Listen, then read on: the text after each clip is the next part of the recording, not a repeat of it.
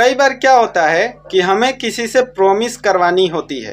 तो हम लोग उनसे कहते हैं, वादा करो वादा करो।